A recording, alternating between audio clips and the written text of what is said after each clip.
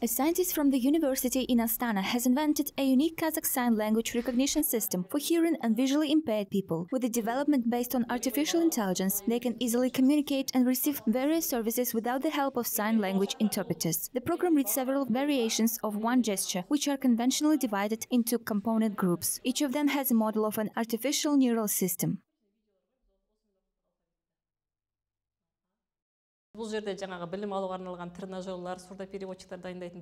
The system is based on a program code that analyzes the text and converts the sound or text language into sign language. Similarly, the system converts it into spoken language, then gives it both in the form of text and sound. In addition, the system contains a special simulator for sign language interpreters, teaching them a new sign language.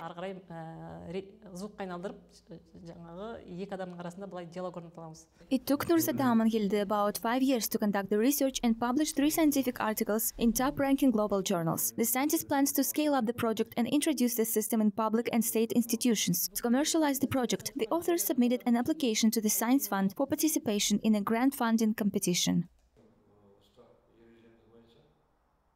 әсіресе мынау білім беру сала- саласында өйткені қазіргі оның тілін көбісі біле бермейді Few people today are familiar with sign language, especially in education. Teenagers and kids in kindergarten should be taught it first. The system will allow people with special needs to overcome the language barrier in communicating with other people. They can study at any free time, even at home, and answer all questions themselves. отырып бос уақытында үйреніп алып тіл табыса алады бұл дегеніңіз ешқандай шектеу қойылмайды ешкімге Ә, кез келген жерде өзінің мәселесін шешіп жүре береді in addition to the Kazakh language, the smart system also recognizes Russian and international sign languages. Each of them will soon be replenished with 3,000 new gestures and words.